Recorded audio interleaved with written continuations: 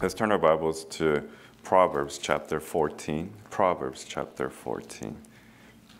We're going to look at one verse, Proverbs chapter 14.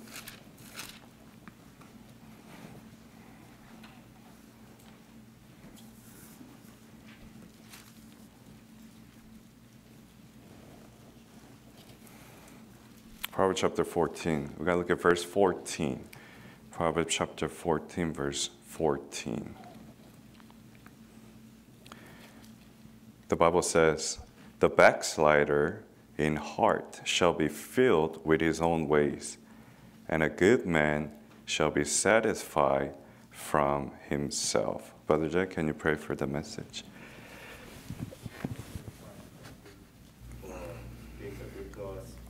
Thank you for saving our souls from hell by your precious blood. Thank you for eternal security. Thank you for filling us with the Holy Ghost of promise. Thank you for this place that you have allowed us to gather together. Thank you for uh, the freedom that we still have to listen to your word. We ask you that you'll fill each and every one of us with your Holy Spirit. Uh, please be with the uh, people who are watching, watching through online, that you'll be with them. And we ask you for those who are unable to uh, be here due to health or other issues, pray that you'll uh, heal them and comfort them and provide all the things that they need. Lord Jesus Christ, we need you all the time, and without you, we can't do anything. And Lord God, we ask you that you'll open our hearts, minds, and ears to your word. Help us not to focus on the things that are happening around the world or even in our lives as of right now. Help us just wholly give ourselves unto your word and convict us, Lord God. Help us to change, Lord. Yes. Uh, just help us get, get back on the right track. Help us to uh, just cling on to you and not just be so uh, downtrodden by the world or the devil and the flesh.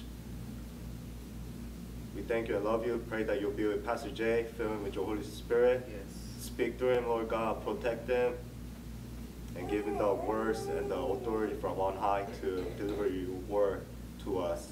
We thank you and love you. In Jesus' name I pray. Amen. Amen. Amen.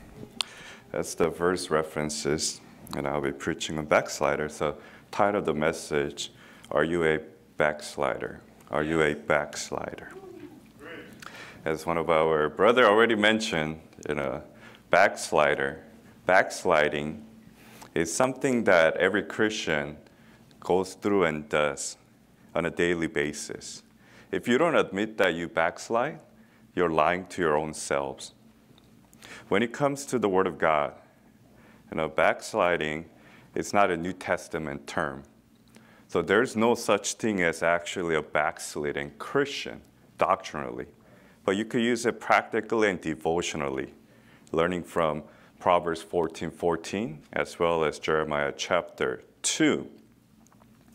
And when you look at Webster's dictionary, backslider is a someone who lapses morally or in the practice of religion or to revert to a worse condition.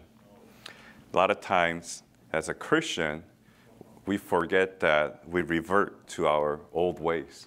Right? When you look at Romans 6 and 7, you know, do mortify your members of the body. When you consider your body as a dead member, you know, you'll sin less, obviously. You'll backslide less. However, many, many times, because of who you are and who I am, because we still live with our flesh, it is very, very hard thing to do. 2 Timothy 2.22 says, you know, flee also you for less. And that's not just talking about, you know, young people. It's everybody. You're dealing with lust problem all the time. Lust of the flesh, right? And what your flesh wants you to do is not what your spirit wants you to do, right? Holy Spirit and flesh is always in the opposites. I think one of the greatest controversies or greatest, how should I say, people have issues with is, you know, not separating your flesh from what Holy Spirit wants you to do. And it comes to a lot of subjects. And ones that always, how should I say, kindle people's feather is the music, right? Yes. And people are like, okay, this music has a godly lyrics. I mean, so what, right? If you drop the music with all this, you know, beats and stuff, that's why, you know, you need to go and study. Don't just feel like my my flesh feels like that's wrong. You know, did you ever realize that your flesh is always wrong? That means that you're listening to your flesh, which causes you to think contrary to what the Bible says. And you know, we see comments, you know, we see, you know, people's objections when it comes to music. Just think about it. If you drop the lyrics and if your body starts moving, that's not a good sign. If you drop the lyrics and you listen to it and you start thinking carnal thoughts, fleshly thoughts, then it's wrong. And if you really want to study, you know, go to, you know, we have plenty of, you know, materials in our website when it comes to history of music. I mean, Dr. Ruckman has a book on history of music. You know, Pastor Jin Kim has videos on history of music. Instead of just always complaining, instead of always just making, you know, comments that you, just out of your spite or complaining, murmuring, you know, attitude, do some study. You know, Bible says, study to show thyself approved to God a workman that needed not to be ashamed, but rightly dividing the word of truth. The reason you backslide, the reason you, you know, murmur and complain against godly teaching, preaching, those sound doctrine, is because you don't study. You know, it's really, really, you know, it's painful to see so many Christians because they don't do their due diligence. Because you don't do your due diligence and study, what happens is that when you hear someone be critical of a Bible doctrine or biblical doctrine, or when you hear someone critical of a Bible believing preacher or teacher, you just start listening to him right away. It's like instead of you weighing the evidence on your own, you listen to others. I mean, verse 14, 14 says, you know, backslider in heart shall be filled with his own ways. I mean, you don't care about God's ways.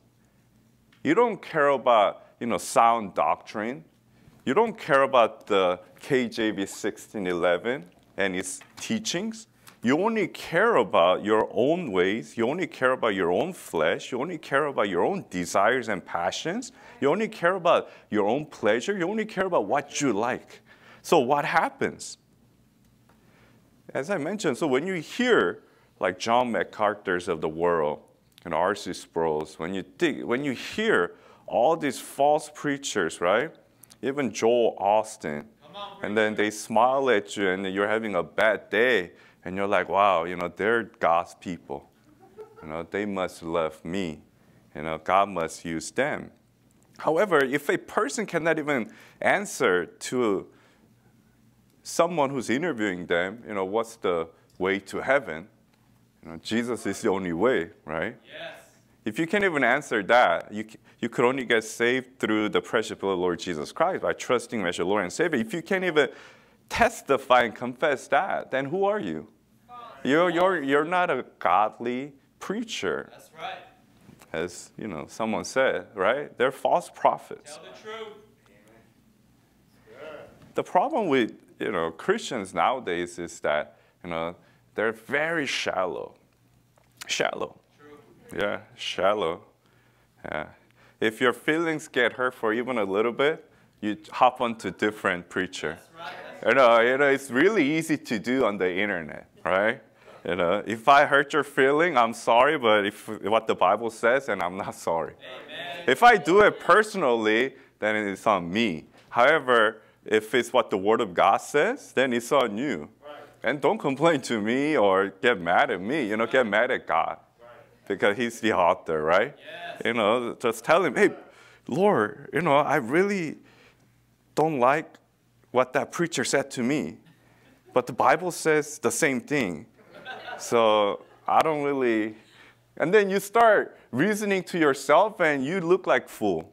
Amen. So sometimes that's why you have to study, you have to think a little deeper than what someone else says.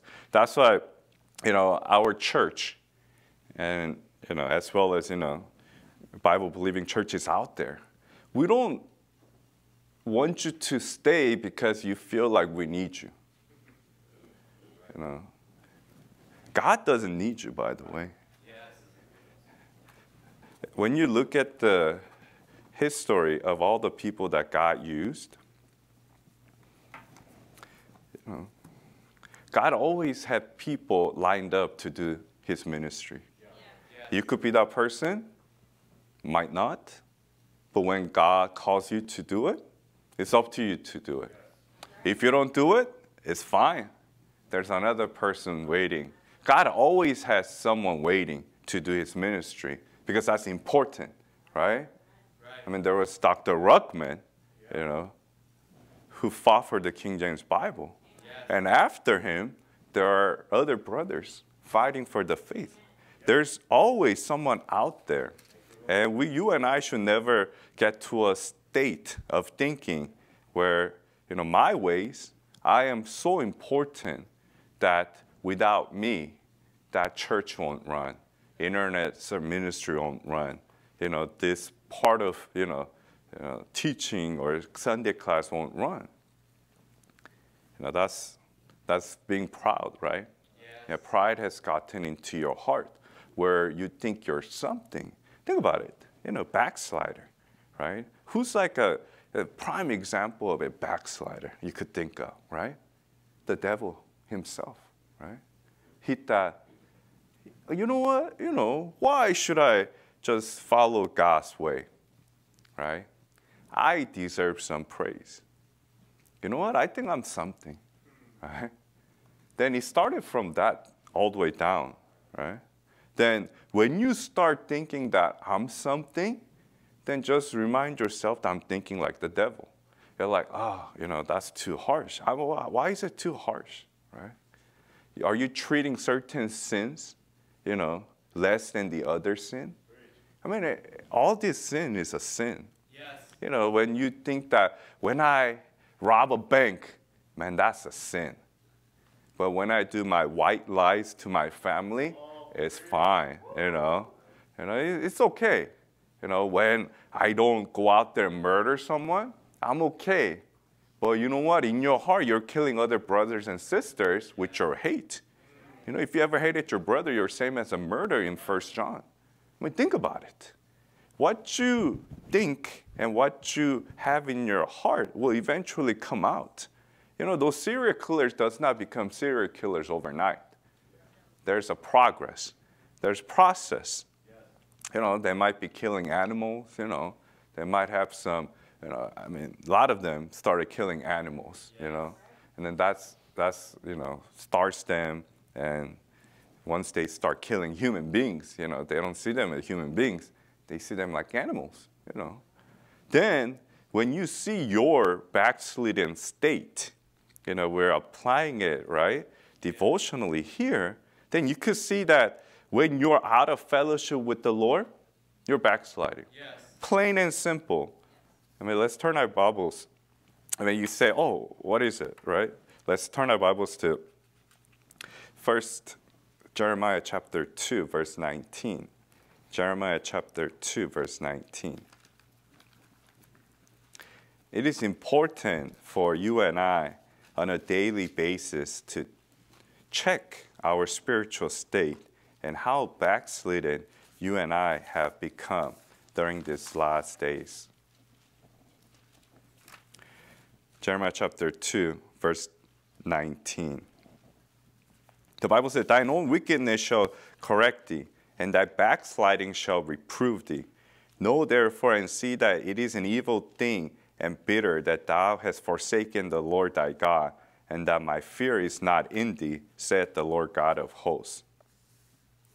The Lord is talking to Israel. You know, they've backslidden. And what's going on here, right? They have forsaken the Lord, their God. Each day you forsake the Lord. When you're out of fellowship with the Lord, you're forsaking the Lord. When you don't pray and when you don't read your Bible, there's no way you're not going to backslide. I mean, that's two most important things. You need to pray and you need to study the Bible. Without those two, you're going to backslide no matter what. How in the world are you going to fight against the devil and the flesh, right, and this world yes. without the Word of God and without prayer? And this is very cliche topic, and it's a rhetoric. However, you know, preaching is all about making you realize, be convicted of the things that you already know. Yes. I mean, I'm telling you, I'm not telling you something that you don't know. I mean, we're not, you know, doing a deep dive study in a certain Bible doctrine here. We're listening and we're preaching, and you're listening to a simple preaching about your backslidden state. You. You are a backslider. I am a backslider. And you and I have to realize and recognize, and we have to judge ourselves on a daily basis. I mean, isn't it going to be a lot better for you if you judge yourself first before God has to do it on his own? I mean, you know, like Galatians 6 says, you reap what you sow. So before you sow all of your sins, right, in a big, you know, lemon tree, where people could see and people take it out and eat, you know, because this is on a public property, right? On a public street. Before anyone could see, before it affects everybody else, you know, judge yourself. Because wisest man was a backslider. Let's turn our Bibles to 1 Kings 11.9. 1 Kings 11.9. That's why you and I have to stay humble. You and I have to have humility you and I have to realize that we're really nothing. I mean, if you and I think that we're something, then we're thinking like the devil. That's right. I mean, God uses people who think they're nothing, right? And God puts people down who think they're something. 1 Kings chapter 11, verse 9. The wisest man ever lived, right? King Solomon. Do you think you're wiser than King Solomon? No. Obviously, I'm not. That means, you know, I'm gonna, I could backslide a lot better and faster and more than this wise man, right?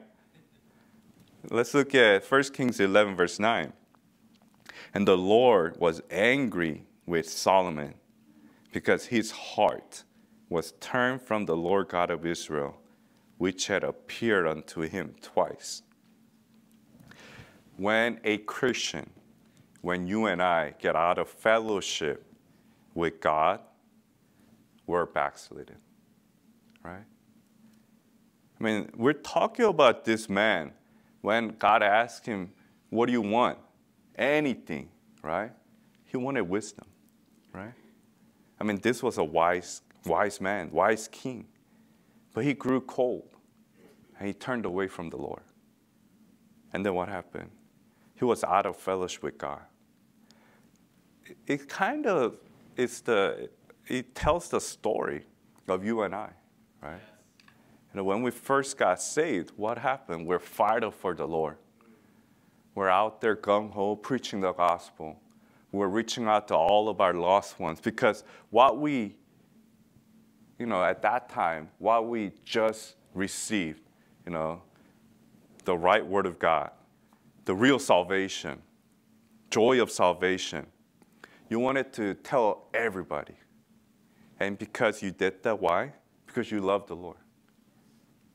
Because you were so astonished and amazed by the love that Christ has shown you at Calvary. And you're like, man, I need to tell everybody. But however, what happened? Right? Your first love has dwindled. The fire has gone down. That's why Revelation 2 4 it says, Nevertheless, I have somewhat against thee, because thou hast left thy first love. I mean, is Lord Jesus Christ still like your first love? You know, I mean, young kids, maybe Nathan doesn't know, but many of the folks know, you know, especially if you're married or if you're of that age, right? If you have ever loved someone, that first love feeling is totally different. That first love is something that all the marriages want to, you know, keep and continue. Because That's where you love that person more than anything in the world. And a lot of times you love that person at that moment. I'm not saying other moments. At that moment, it's just my personal opinion. You love that person more than you at that moment. Literally, you know, for that first love, you do anything. A lot of times people do it the wrong way. Their first love is wicked. Their first love hates God. They love to sin. But because you love them, you do it together. How many times have you done something that you regret because of someone that you loved, right? How many times have you regretted because, man, we should have never done it? You know, I was blinded by love. who says that and who hears it all the time? You know, blinded by love, that's why I do it. You know? However, when it comes to your first love, you know, when it comes to your Lord Jesus Christ, where is it right now? You know, if you're closer to the Lord, I mean, that means you're backsliding less. If you're further away from the Lord, forget about even answering the question. You know, you're at a deep, deep trouble. I mean, you're in a place where you really have to get right with the Lord. You start turning away from the simplicity of gospel. I mean, are you listening? I mean, this gospel, you know, the Paul preached, you know, 1 Corinthians 15.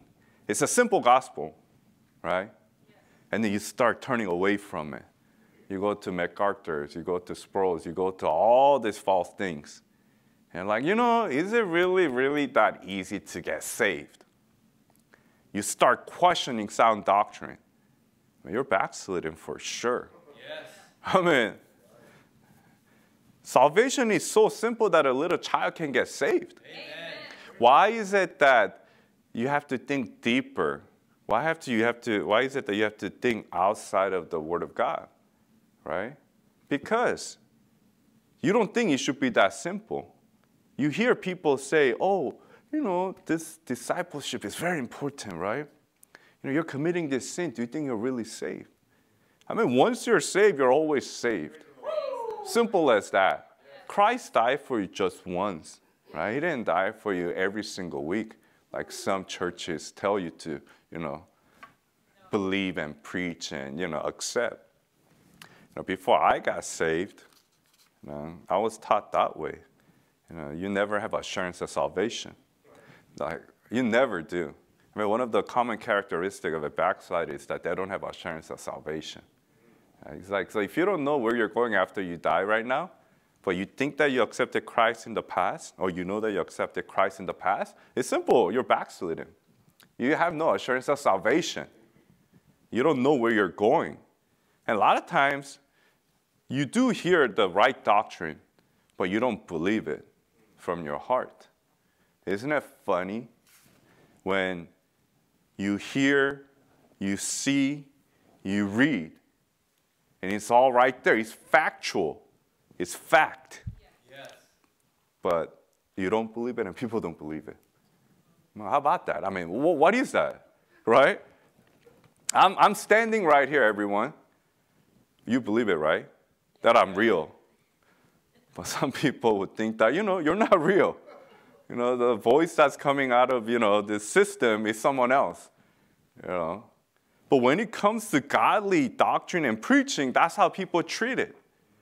They treat it like invisible thing. Like, I hear it, I see it, I know it's real, but it's not real. I mean, that's like, you know, that's how human beings are. That's how wicked you and I are. The proof is right there, but we don't believe it. We don't trust it. That's why you turn to people, you turn to things, you turn to books, you turn to, you know, internet clips where they conform to your own idea right? Like, oh, you know, Dr. Ruckman was too rough. And someone complained about him like that. You know, he was too rough against women, right?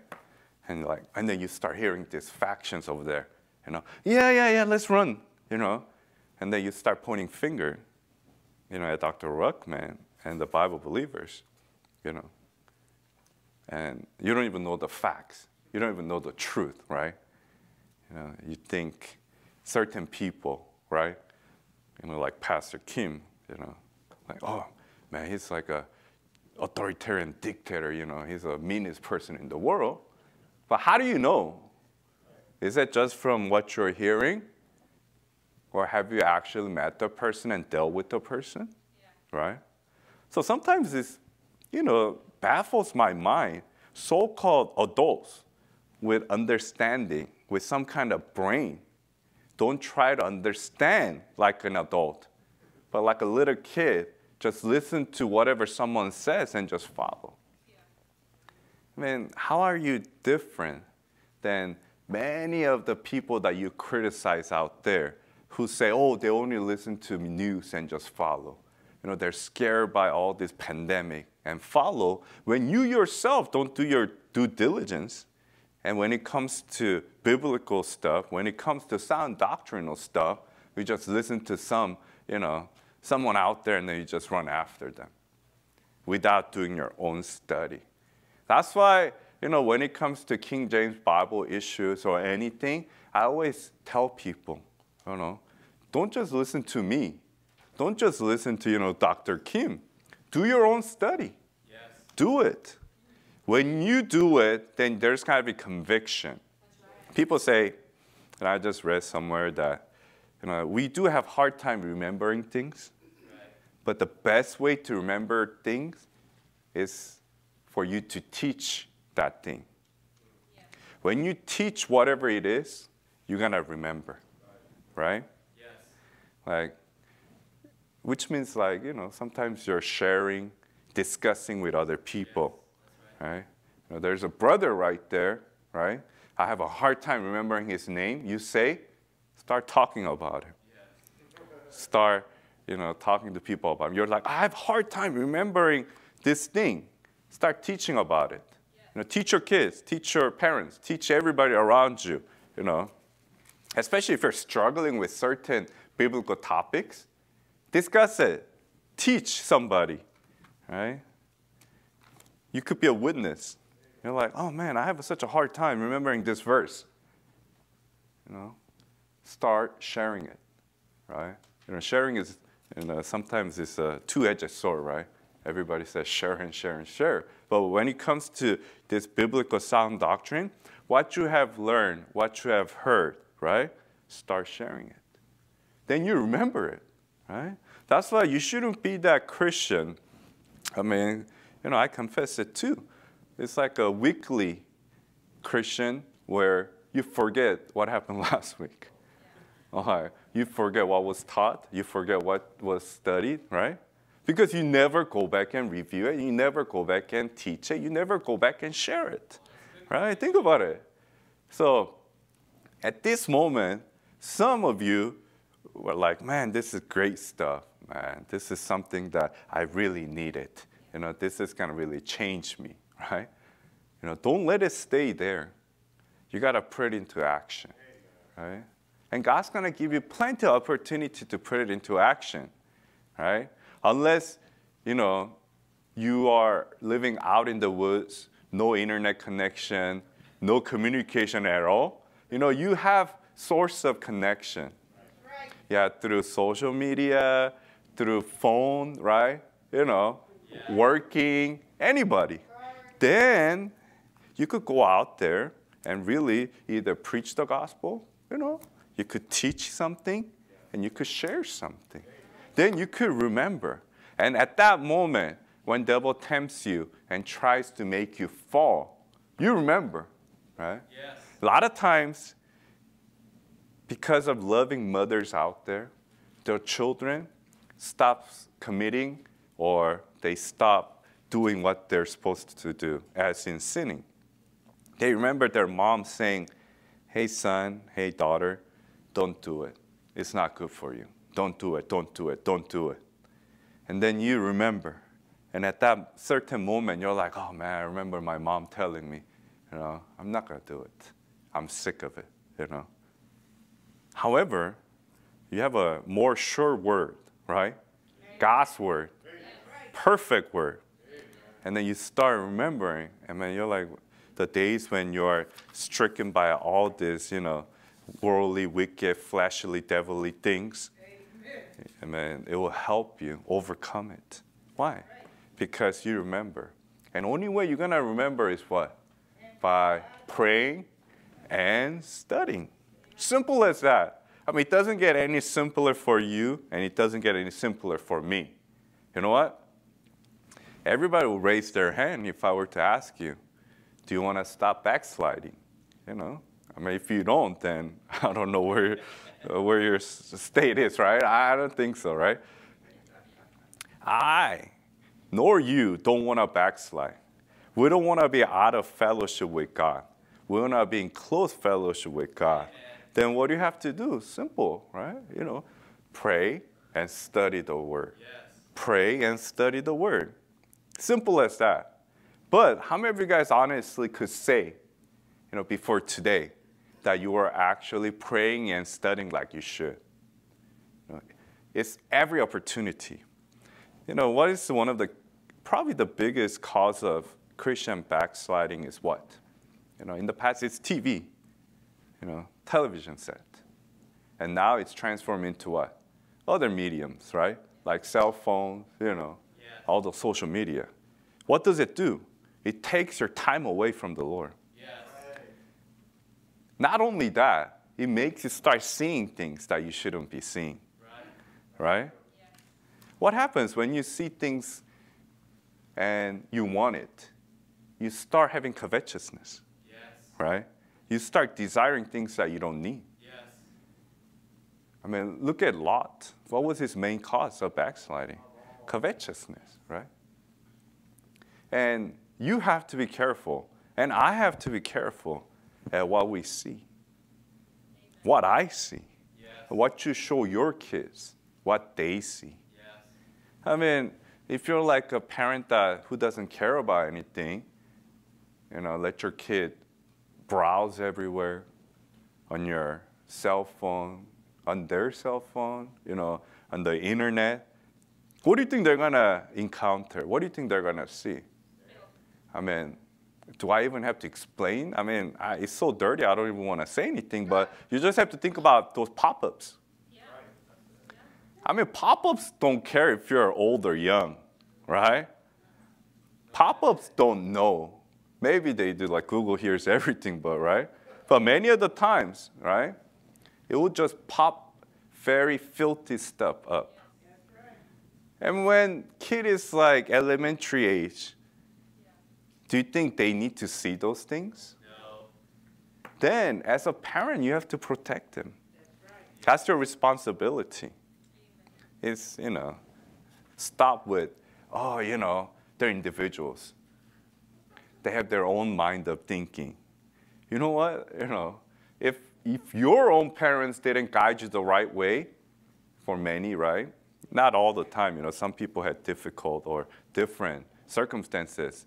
But if your parents guided you the right way, shouldn't you guide your parent, I mean, kids right way too? You should, right? It's your responsibility. You will stop you yourself, your children, your family from backsliding more than you are right now when you avoid televisions, when you avoid those wicked internet, social media stuff it's not about just looking at it, right? That's why, you know, it's like where YouTube, where it forces on people to play those ads now. you know, I mean, you can't wait for those where five seconds and you click and, you know, skip it. Those things will get on your head. Why do you think they pay advertising? Why? Because it works. Yeah. The more you put them on people's face, the more they will remember, right? I mean, certain products I never thought of and heard of. But I see it on commercial, I'm like, man, I can't get it out of my head, whether good or bad. That's how much influence what you see has on you. That's why the more you spend in the book looking at the Word of God instead of other things will help you more and more and it will keep you away from sin. It will keep you away from the world and the devil and your flesh. Amen. And then it becomes easier to treat your flesh like dead members. Yes. Amen. If I could do that better, right? I would definitely sin less. If I could just treat every members of my body, hey, it's dead, you know. What can that thing do? Right.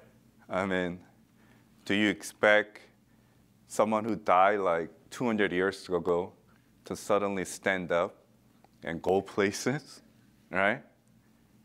No, they're a dead being. Do you expect their fingers to move? Do you expect their feet to go to, you know, sinful places? Do you expect their eyes to see all this filth everywhere? No, they're dead. They can't do it. And when you consider your flesh that being and they treat it like that, man, you're gonna have a so much, so much, how should I say, holier Christian life. Amen. You're going to be so much cleaner. Yes. I think one of the things that you know every backsliding you know Christian should think about is that man, how dirty you and I have become, Yes. right? All this filth that we're filtering and bring it into ourselves, right? I mean, Bible says you're temple of holy God. I mean, do you treat it as such? But you don't. You and I, you know, many times don't treat our, you know, this temple of God like we should.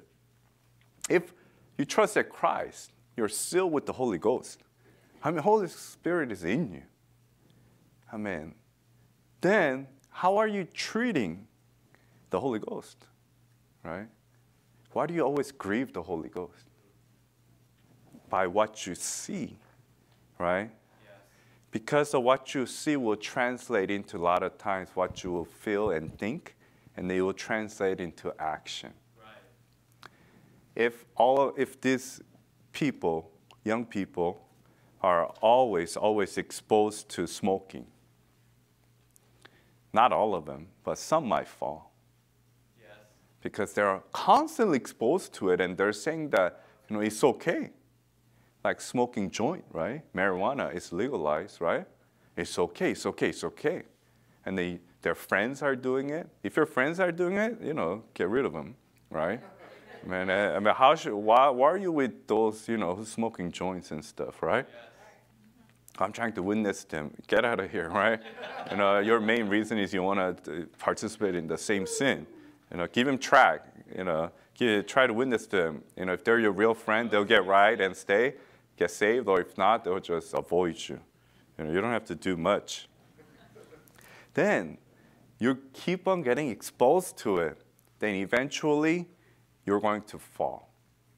You're not that strong.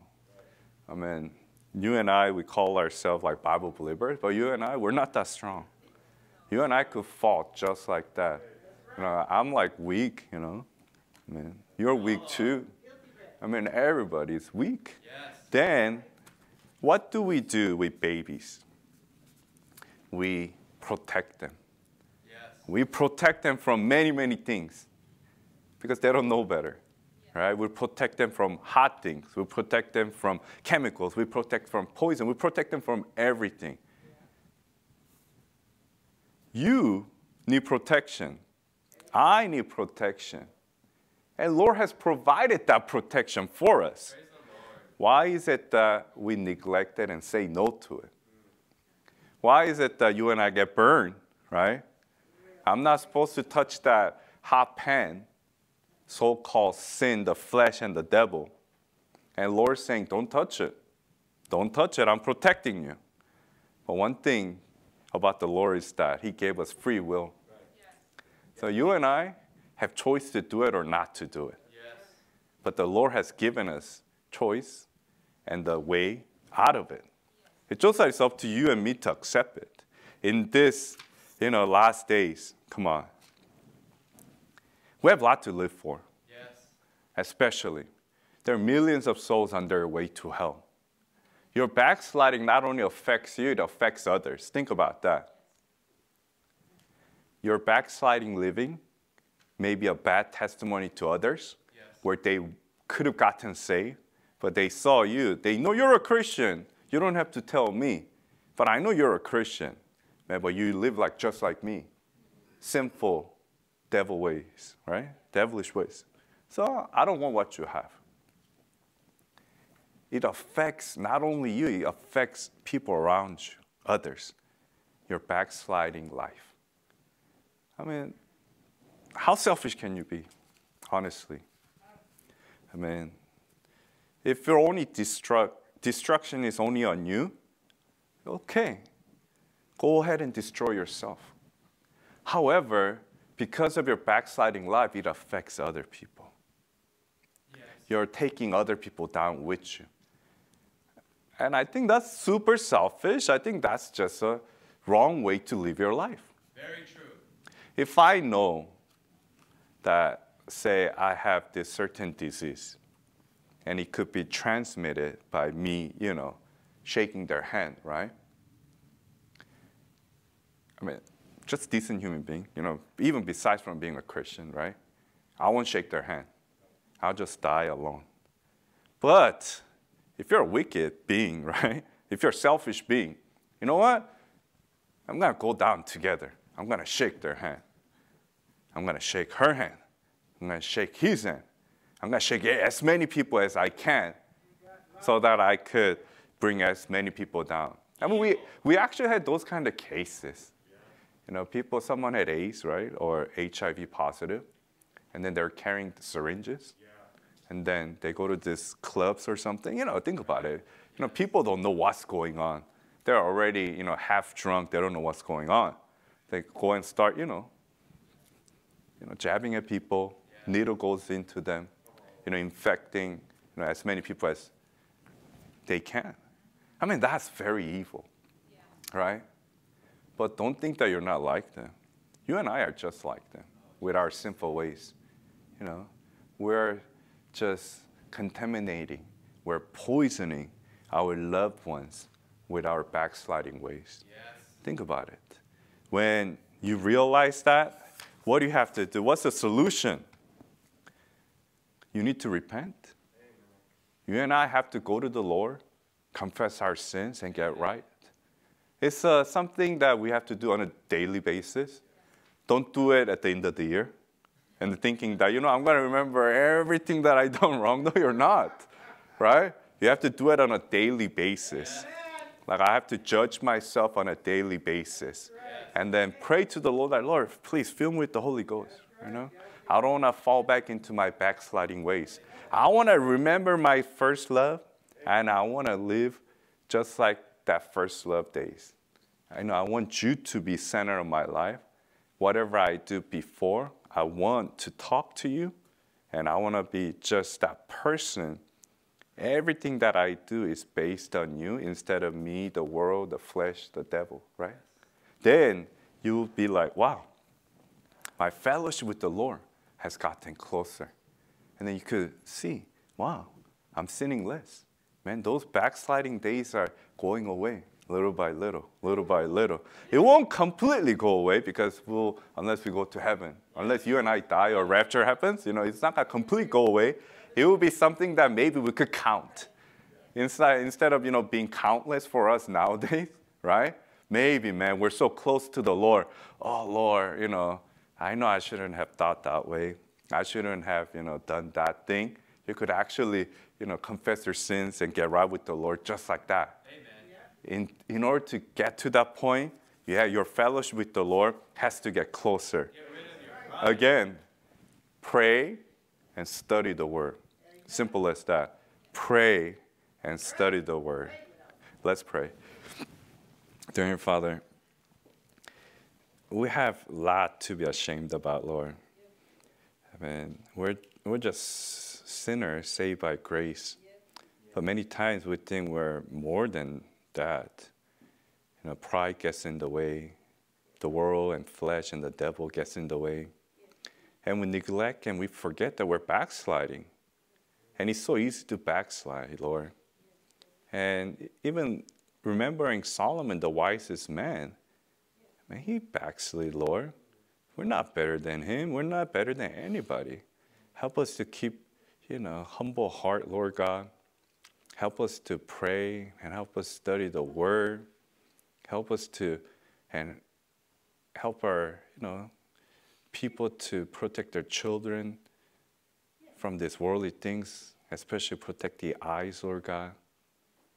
I pray that as the year ends, Lord, help us to realize how much time we've wasted because of our backsliding ways, and help us to get right with you, Lord. And as you have given so many chances, second chances to everybody, in the Bible, you have given second chances to David. You have given second chances to all, er, myself and everybody included, Lord. Help us to appreciate these second chances, get up again, get right, and really live a life that's pleasing to you, remembering the first love. We pray that those who aren't able to make it or those who are going through you know, physical ailments or anything else in their life, Lord God, please lead them according to your will, Lord. Heal them, Lord, so that we could worship you together. And I pray that during this pandemic, thank you for continuing to protecting us and continue to protect us. And above all, even so, come, Lord Jesus. In Jesus' name we pray.